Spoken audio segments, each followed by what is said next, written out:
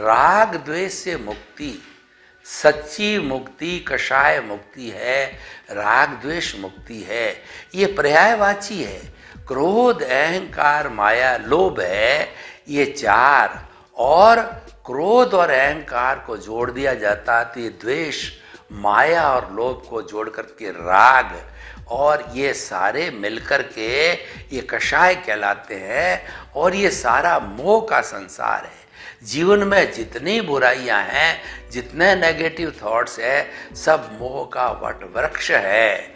तो इसीलिए जो है, दोनों में भेद रेखा है, अच्छाई और बुराई की। तो हमारी मुक्ति कहाँ से है? मुक्ति तभी है जिसने हमको जोड़े रखा है। देखिए, एक लकड़ी है और एक सनमाइका है। अब आपको फर्नीचर बनाना है तो सनमाइका को लकड़ी पर चेपना है तो फेविकोल लगाते हैं। तो ये फेविकोल है, यही चेतन और जड़ को जोड़े हुए हैं, यही राग द्वेष है, इसी के कारण दोनों जुड़े हुए हैं। आप इसको अलग कर दीजिए तो हमारी जो चेतना है, वह चेतना अपने आप जो है मुक्ति को चली जाएगी। वो तो मुक्ति है। वो तो इस फेविकोल के कारण चिपकी हुई है।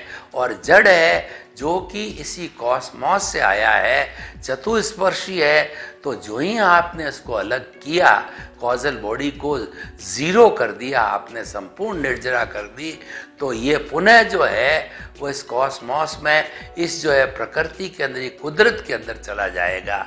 तो वास्तव में जो मुक्ति है, न तो मुक्ति आत्मा की, वो तो मुक्ति है। और न इसकी जड़ की है, क्योंकि वो मुक्त क्या, वो तो जलाने योग्य है। तो वास्तव में जो मुक्ति होती है, वह राग, द्वेष, कषाय की मुक्ति